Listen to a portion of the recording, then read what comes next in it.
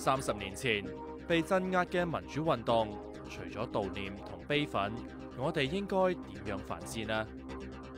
民眾有多少覺悟，我說不上來。可能是精英集團這一塊，我不覺得有什麼多少長進。係要靠人民嘅不斷抗爭。我哋喺政制上面有民主啦，但點樣喺社會上面體現民主呢？仲要思考㗎。任何一個國家的自由人權，都必須由那個國家的人民自己去爭取奮鬥得來的。追問民主嘅目標，我哋而家最大嘅問題係大家將目光放咗喺一個人身上。定係追溯更加根本性嘅問題呢？悲劇性嘅原因就是中華民族是一個善於遺忘的民族，民族性。那麼如果再有一次的話，你們做準備了嗎？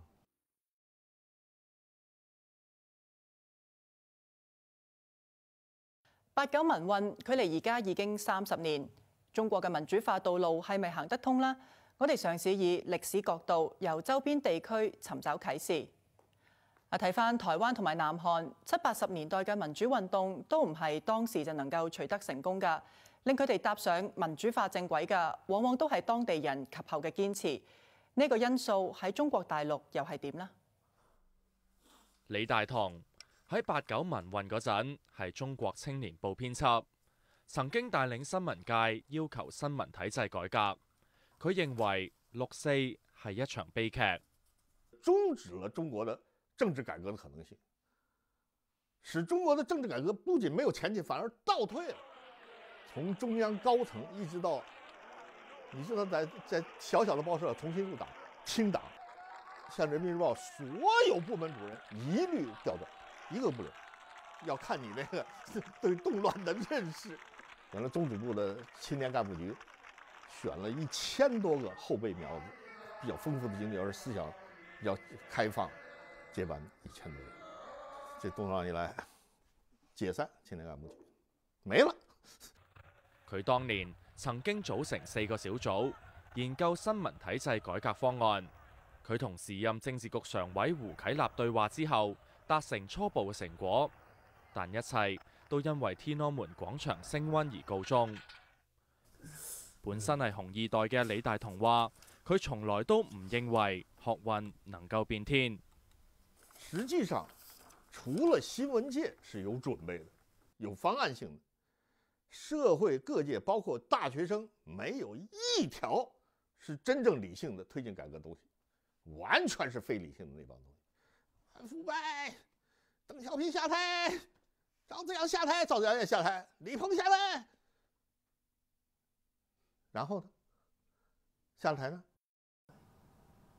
廣場上嘅時任政法大學教師劉蘇里都有同感。面對具體事務的時候，沒有方案，沒有解決問題的辦法。那么如果再有一次的话，就是说，你们做准备了吗？三十年过去了，马上，好像跟八九年的那個沒有什么太大的变化，就是没有什麼長進。劉蘇里喺六四之後逃亡，但喺最後關頭決定自首，留喺大陸。我認為我們的事情就在這個地方，我們走了，這個事情就結束了，可能是。事實好像也是這樣。佢話一直冇移民，係因為冇放棄過初衷，唔想民運停留喺當年口號式對統治者嘅控訴。佢覺得。推動民主化嘅土壤始終都係人民。好像這是一個雞生蛋，蛋生雞的問題，其實不是。這個國家的腐敗是全民腐敗，中共官員只不過是他有機會當官的民眾的腐民眾而已。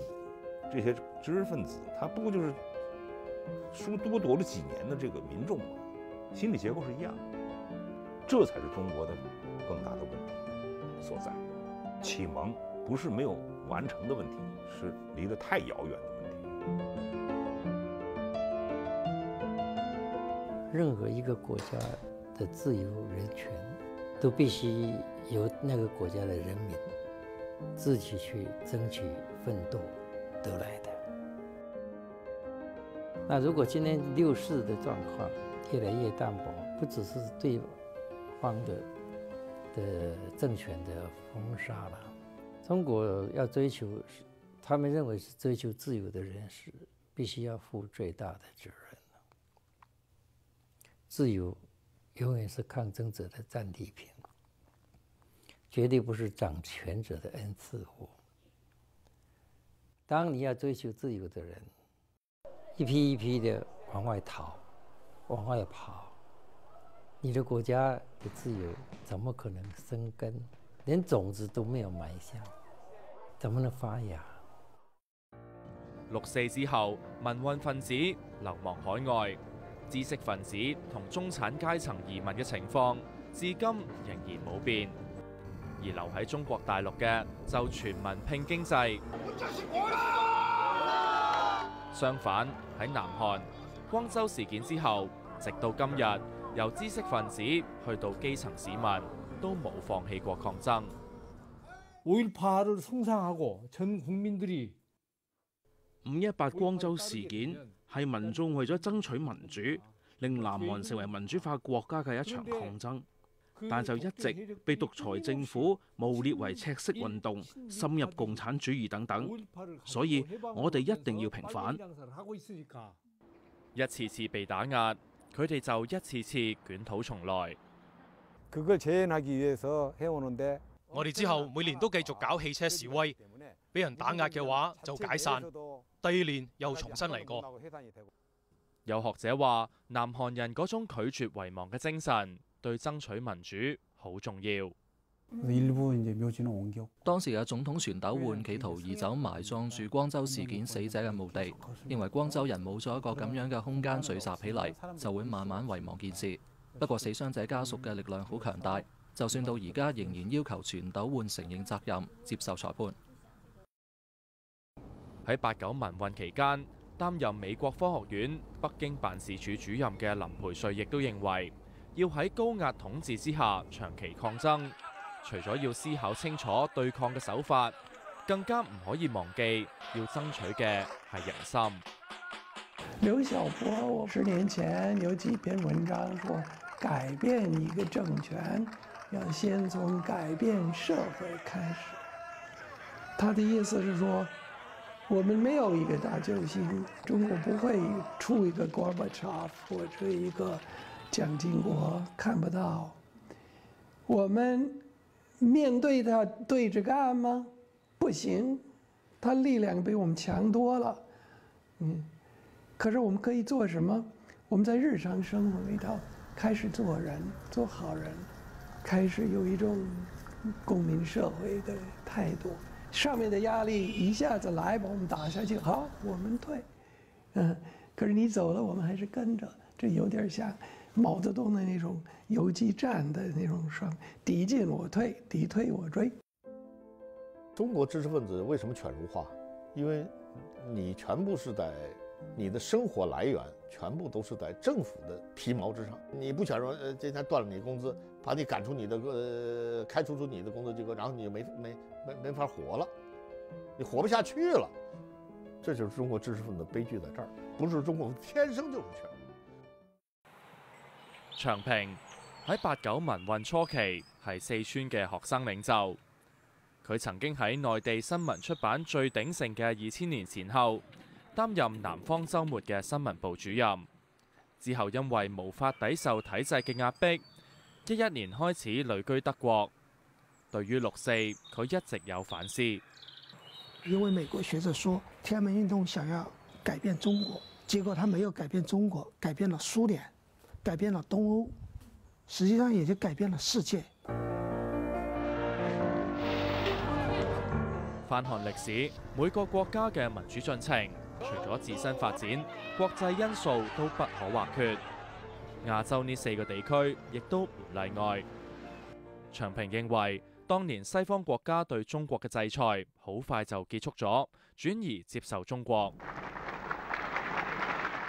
他們現在會想，那么艰难的情况下，我们都过来了，而且西方政府是有很多空间。或者有很多空子可以钻的。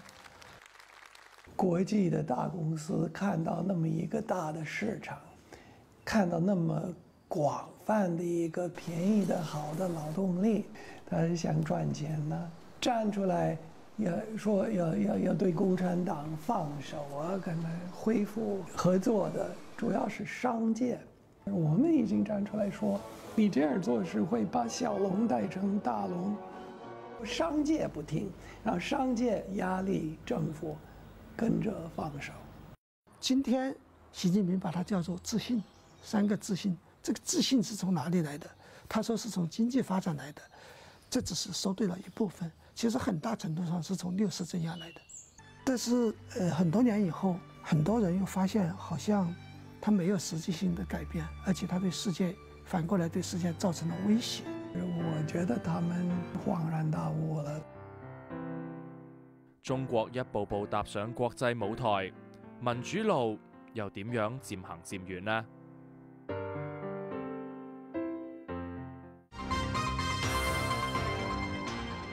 有人話六四事件喺中國好似空氣，睇唔見、聽唔到，但影響力又無處不在。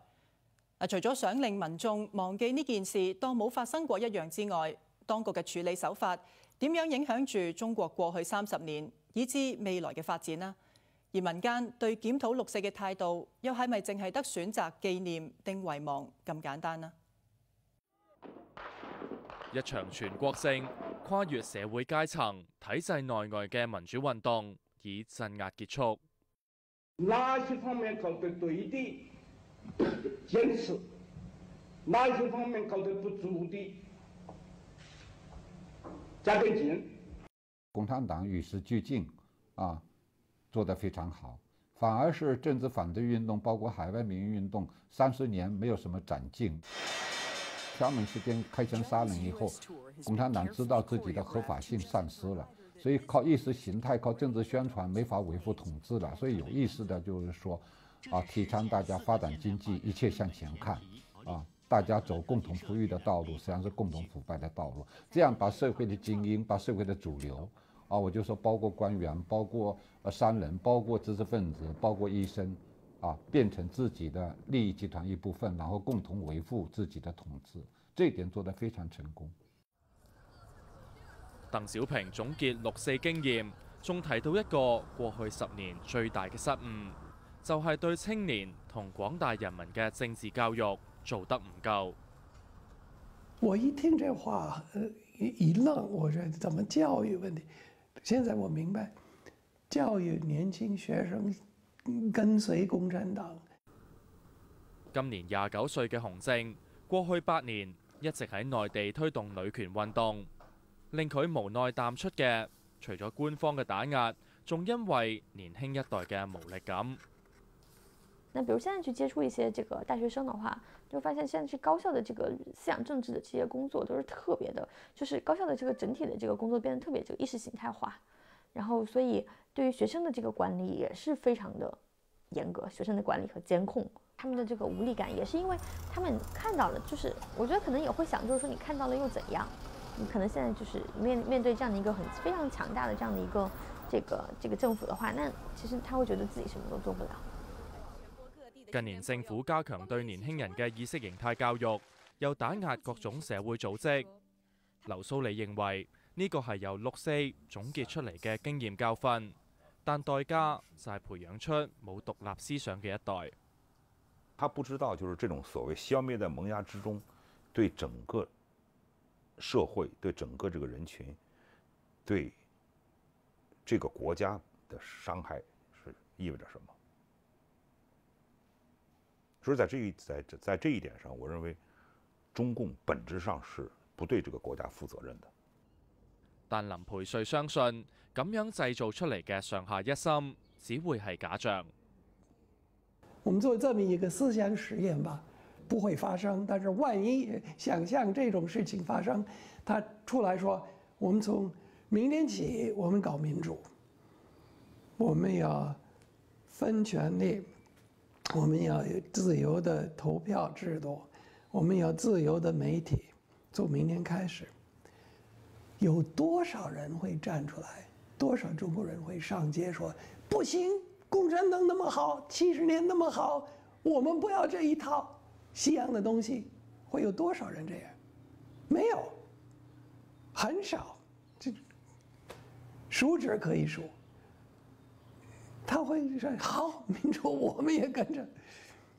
有这种精神分裂的问题，表面上我我需要配合他的压力，但是我真正的想法有机会发泄的话，会赞成继续他那种十九世纪的制度吗？我不信。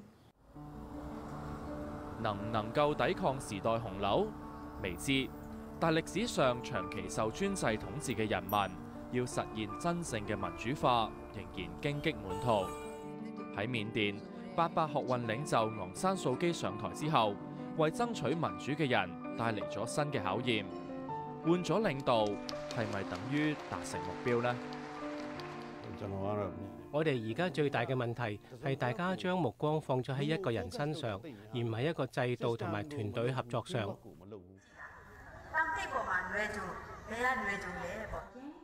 面確奈被稱為昂山素基之後緬甸民主派嘅第二號人物。我落村嘅時候係想大家都要負起自己嘅責任，培養集體領導。但大部分人都同我講好主意，但係我哋未準備好，都係要你繼續帶領我哋。港大教授 Ian Holiday 研究緬甸政治三十年，佢发现昂山素基上台之后，缅甸人已经满足于而家呢一个半民主制度。 When we asked people in 2014 uh, whether they thought their system was democratic or not democratic, the balance was almost even. It was roughly uh, evenly spread between yes, this is a democracy, and no, it's not. When we asked them the same question in 2018, it was four to one. Our system is, is, is truly democratic. Now, the only thing that had changed between 2014 and 2018 was that you now had an NLD government, but the structure of the state was completely unchanged. 佢话呢个系军队管治五十年嘅结果。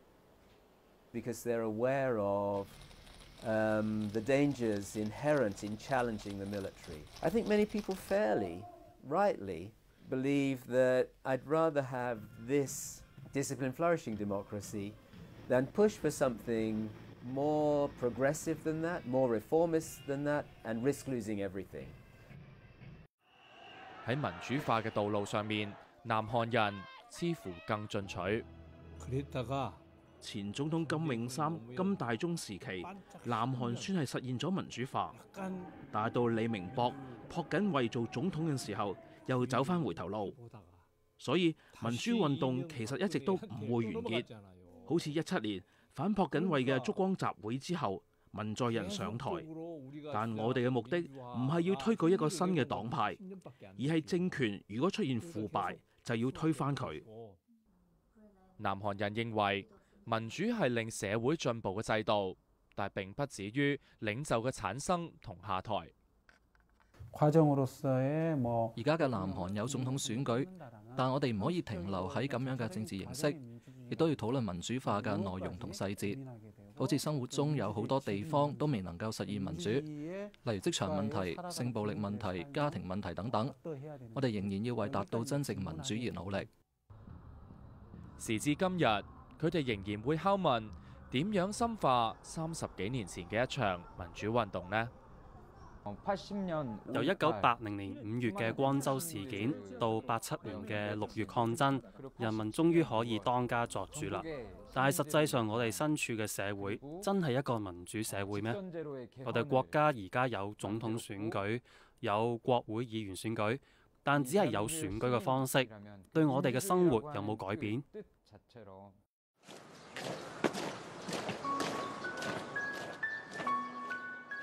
全球化之下，中国特色嘅民主化前路系点？选择遗忘同割裂，系咪就等于六四可以不再存在？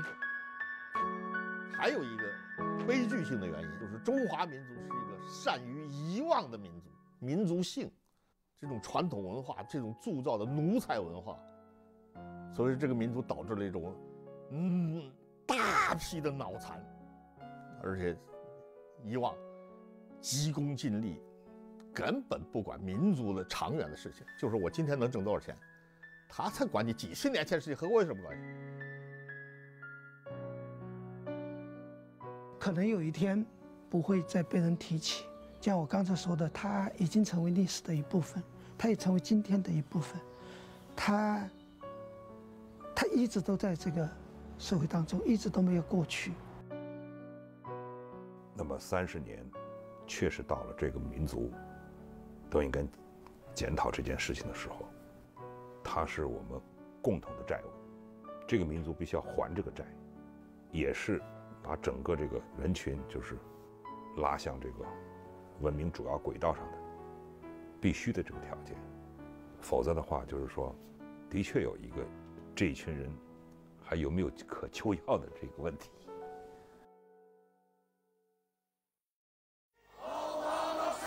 我幾乎每一年都嚟，一日唔平反，我一日都唔心息。我年年都嚟嘅。平反。今日希望下一代記住我哋永遠都。民主未得到手。雖然好似係失敗咁，但係呢個係一個播種嚟嘅，我覺得係會開花嘅，遲早。我希望可以平反到六四嚇，但係一日呢個目標未達到咧，我每一年都會嚟嘅。今年係十六年，嚟咗十六年咯。十七年唔得唔緊要，乜七十年或者得啦，呢個我嘅信念嚟㗎。嗰種精神係一直咁承傳落去。係為我哋嘅下一代咧，佢哋將來點面對咧？我唔想回憶，但係我唔會選擇忘記咯。梗係入去啦，唔入去點計數啊？良知咯，人哋命都冇埋，咁我哋收一濕身咁算係咩嘢？盡量做啦，做得幾多做幾多啦。每一代都可以喺呢度揾到一個民主嘅起步點。我係嚟自內地嘅，希望內地能夠走上民主嘅道路。